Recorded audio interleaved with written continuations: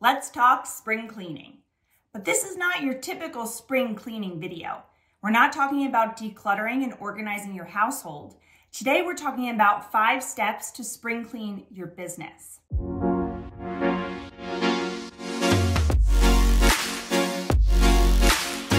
Spring cleaning is not just for your home and your belongings. You can and should spring clean your business. But what does that mean? That means taking the time and giving attention to tasks and projects that you put on the back burner from last year or from the first few months of this year. Now is the time to go through and organize. And to give you some inspiration, we have five steps of where you can start to spring clean your business. Clean up your email. You knew we were going to start here.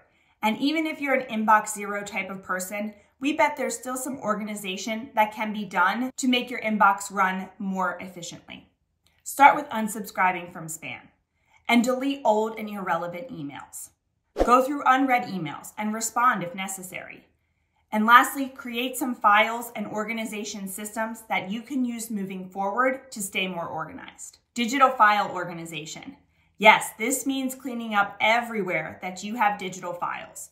In your Dropbox, in iCloud, in OneDrive, your Google Photos. Really take the time to organize where your files are being held so when you need to find something, it's so much easier. And while you're at it, create a good organization system to use moving forward.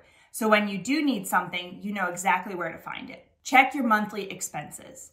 This is so important for small businesses. And a lot of the times as you start to scale and grow, you forget about all the little expenses you have on a monthly basis. And this can really save you some money. Check where you are paying for services, subscriptions, and products, and really ask yourself if you still need those things. Also, look at your vendor list. This is a great time to take a look at where you can possibly find some savings with new vendors, or perhaps ask your current vendors for some loyalty discounts. If you have certain subscriptions or services in several different places, Consider bringing them all to one vendor and perhaps you can get a discount that way. Research new vendors.